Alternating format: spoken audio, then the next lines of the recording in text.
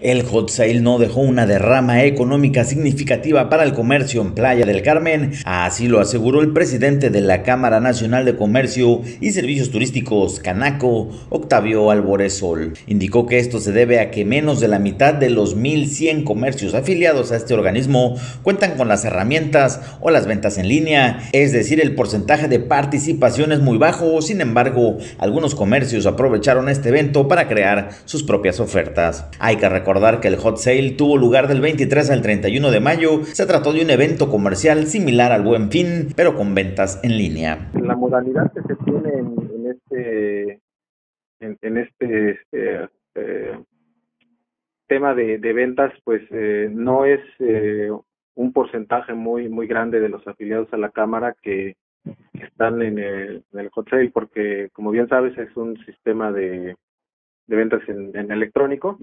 Y eh, no no todos nuestros afiliados tienen ese ese sistema. Eh, yo podría decir que no es más del del 50% de los afiliados que de alguna manera eh, hacen su el uso de, de las ventas en, en, en línea.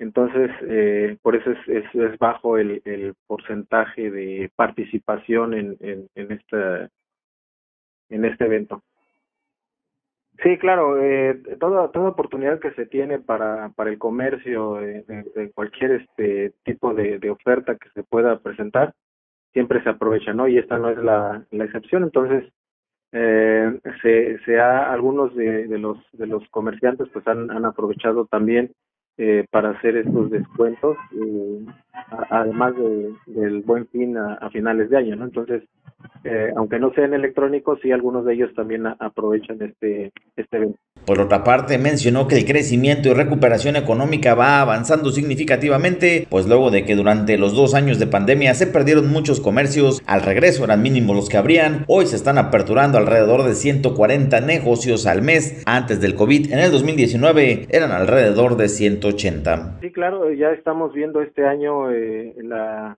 las nuevas aperturas y obviamente se ve eh, muy muy claro, muy marcado el, el aumento. Eh, si, si, recuerdas cuando inició lo de la pandemia, estábamos hablando de tres o cinco los primeros meses de, en apertura, después subió a 20, luego 40, ahorita ya estamos hablando de eh, alrededor de los 140 nuevos negocios por mes.